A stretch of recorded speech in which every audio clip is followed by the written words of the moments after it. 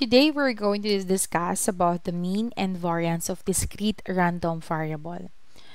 The mean, variance, and standard deviation for a probability distribution are calculated differently from the mean variance and standard deviation for samples. So if you still remember our lessons about the measures of central tendency, so which are the mean, the median, and the mode, and the measures of variability, so which which are the variance and standard deviation. So they are different in terms of formula. Okay po? So, iba yung formula natin doon at iba yung formula natin ngayon under sa discrete random variable. So, these sections will enlighten us on how we are going to measure and new measures called the expectations are computed for probability distributions. So, the mean, the variance, and standard deviations are the expectations that we computed for the probability distributions.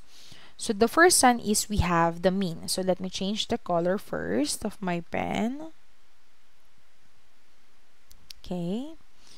So here, eh, the first one is the mean. Okay. Hindi masyado kita. So palitan natin. Let's use dark. Yan. So the first one is mean.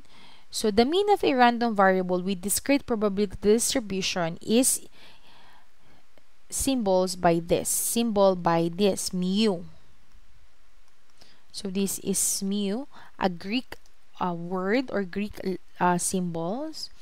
So for us to get the mean, we're going to get the product of the outcome and its corresponding probability. After we get all the product of the outcome and its corresponding probability, we are going to add them together. And that is a mean. Okay, for example, x sub 1, x sub 2 to x sub n, that is our outcome. And this one is their corresponding probability. So we're going to multiply them together, then add them all. Okay po, so that is the mean. For the variance naman class is the variance of a random variable with discrete probabilities look like this. Okay, so this is our symbol for the variance. Okay po, so squared. Uh, we are going to get the sum of the product of the outcome and its corresponding probability. But the difference is, si outcome dito class is ini-squared na natin. Then after all, we get the sum of the product of the squared of the outcome and its corresponding probability. We are going to subtract it to our mu or to our mean. So, we are going to square the mean first, then we are going to subtract it. Okay po, dun sa nakuha nating sum. Okay, so for our standard deviation, just simple as like this class, this is our symbol for standard deviation. The difference is between the variance and standard deviation is that si variance may squared, si standard deviation wala. And for us to get the standard deviation, we are just going to square root the variance. So, kung ano yung makuha natin value ni variance, isi-square lang natin. And take note of this. This is a domino effect. Kapag sa simula pa lang, sa mean pa lang nagkamali ka na, it will affect your variance and it will affect your standard deviation. So please be, be careful when solving dun pa lang sa una, sa first step which is which are which is the mean. Kapag mali kayo ng mean, mamamali kayo sa sa variance at mamamali kayo sa standard deviation. Okay po? So yung class, so standard deviation, ini-square lang natin si variance. Next one is expected value. So when we say ex expected value, this is a theoretical average. Okay po, as you can see here class, it is the same with the formula for our mean. Okay po, kaya lang the difference is this expected value is theoretical average of the variable. And our symbol for expected value is E of x where our x is a random variable. So, depende kung anong random variable yung hinahanap natin.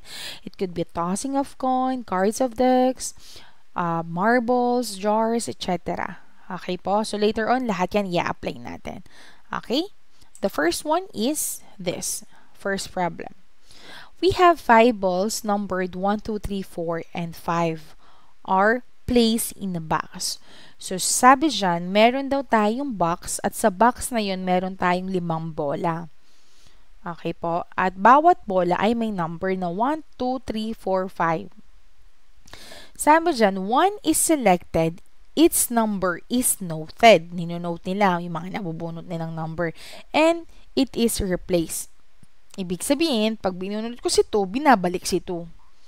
So, meaning, pag with replace, meaning it is independent. Okay po? Event. If this experiment is repeated many times, find the mean, variance, and standard deviation of the numbers on the balls. So as you can see class on our uh, probability distribution table, our x is the number of number on the ball on each ball and its uh, p of x is the probability of the number on each ball. So as you can see class, so 1, so 2, 3, 4, and 5 all of them, the probability of getting them is 1 over 5. Why? Kasi nga, binabalik natin sila. Pag nakuha si 1, ninonote lang natin na nakuha siya, pero binabalik natin siya. So meaning, yung favorable outcome at yung ating total number of outcome, it will not change.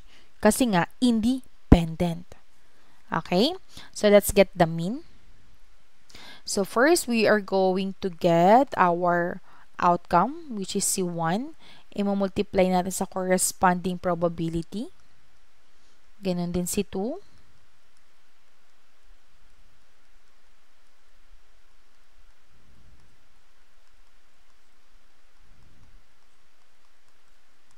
Okay. So, 1 times 1 is 1 over 5 is 1 over 5. Plus 2 times 1 is 2 over 5 plus 3 times 1 is 3 over 5 plus 4 times 1 is 4 over 5 plus 5 times 1 is 5 over 5 then they are similar fraction just add the numerator. 1 plus 2 is 3 plus 3 is 6 plus 4 is 10 plus 5 is 15 over 5 then let's simplify this. The answer is 3 so therefore, our mu is 3. Our mean is 3. Okay, let me change the color of my pen. Okay, next one is variance. So the difference between mean and variance, dito si variance class, si outcome naka-squared bago natin siya i-multiply sa probability sa sa corresponding probability. At pag nakuha na natin yung sum nila, Ayan. Tsaka natin siya imumulti, uh, im ima-minus sa ating nakuhang mean. Okay? Kaya sabi ko sa inyo, domino effect. Pag mali ang mean nyo, mamamali na tayong lahat. Okay? Let's solve.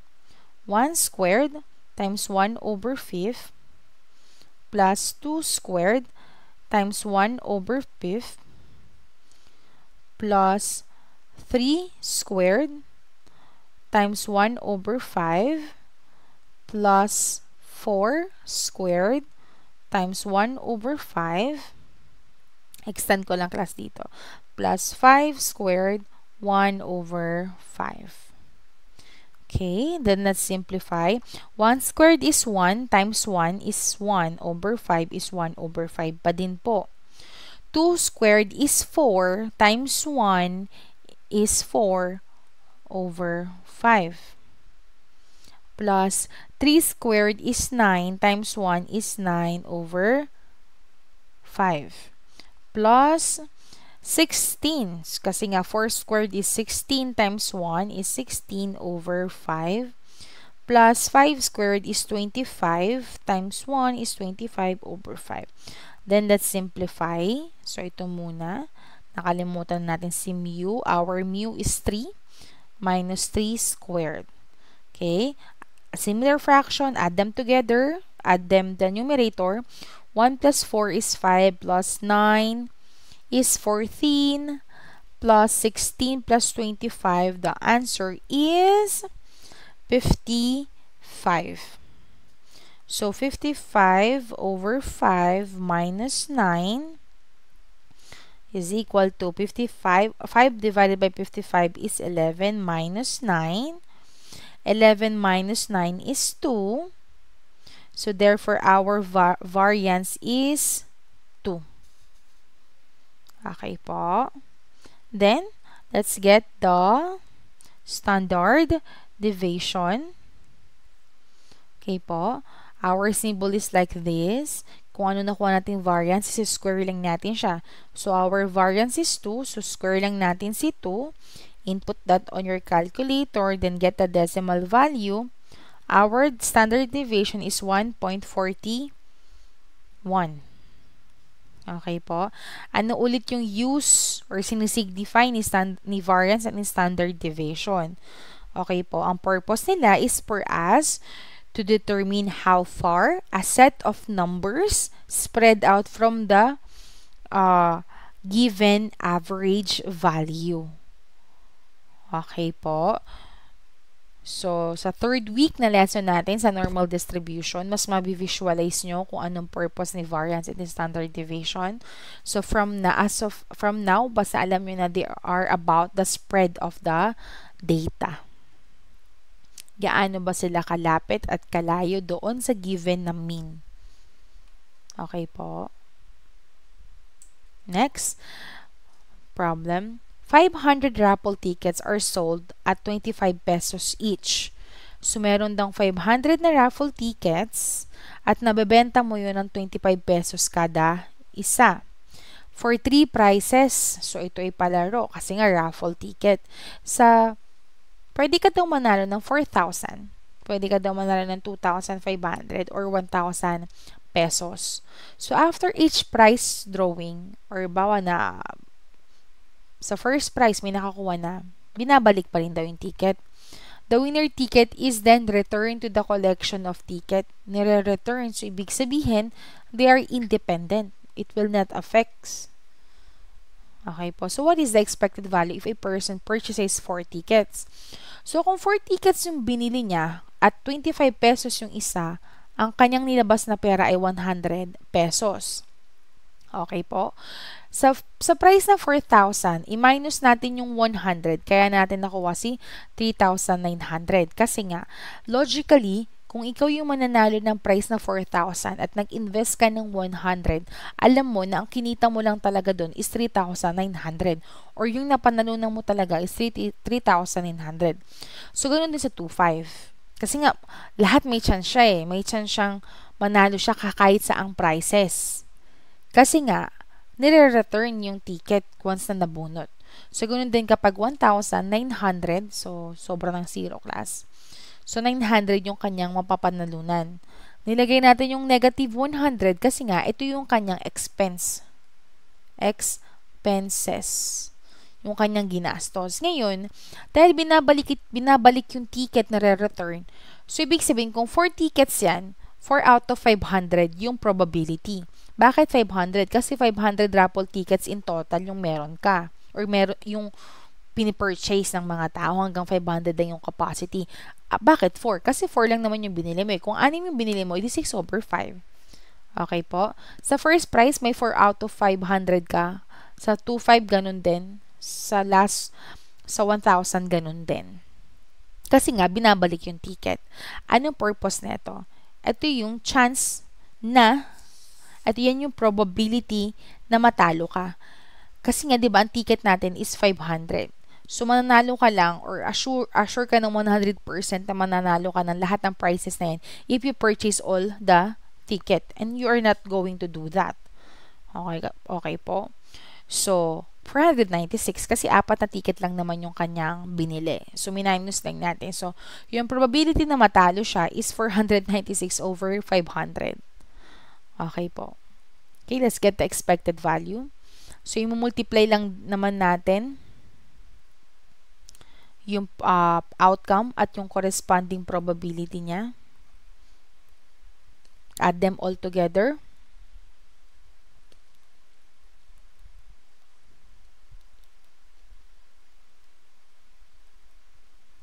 Okay, nakulang tayo ng 0, 0.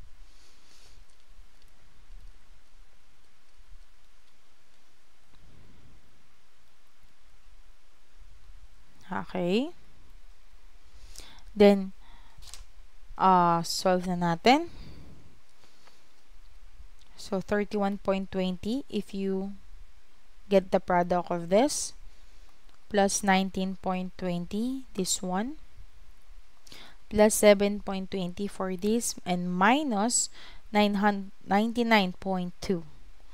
Then perform the operation, you will get 41.60 minus negative. So, therefore, we can say the expected value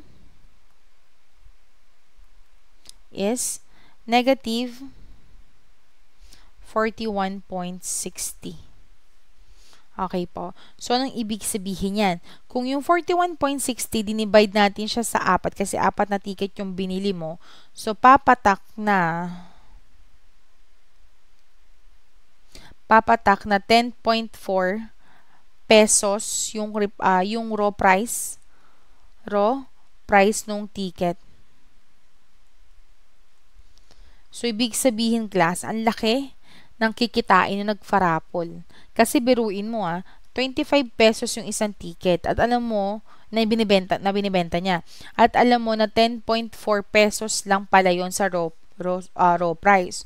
So, kung 25 minus 10.4,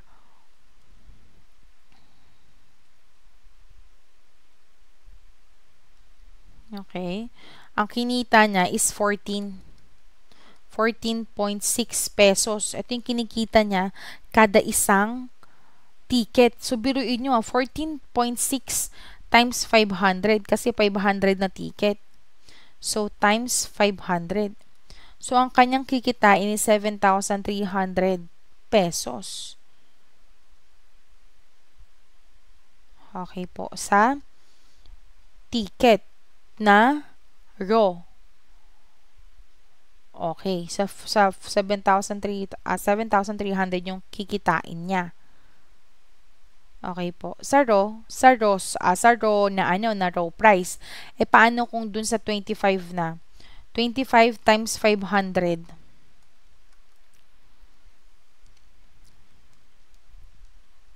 Twelve thousand five hundred. So, 12,500 minus 7,300. So, meron siyang kita na 520 doon sa kanyang parapol na 5,200 pala, correction, doon sa kanyang paraffol. Okay po. Kaya nga 'di ba sabi nila, pag tumataya ka daw ng loto, talagang pikit mata ka diyan kasi mata ah, mababa lang yung probability mo na manalo ka. Kaya nga ang idea nila is talagang ano ka, lucky ka na mabunot ka kapag may mga paraffol talagang para sa iyo 'yon kasi 'di ba ma- ma- ma- maliit yung probability na manalo ka sa dami or sa laki ng kailangan. Kagaya sa loto, walang capacity yung population niyan. So talagang walang capacity na, oh, bawa hanggang 100 lang pwedeng tumaya, walang ganun. Unlimited yung pagtaya. So, maliit yung probability. Talagang lucky ka kapag ikaw yung nabunod. Okay po. So, that's the end of our lesson. So, I hope you learned something from me today.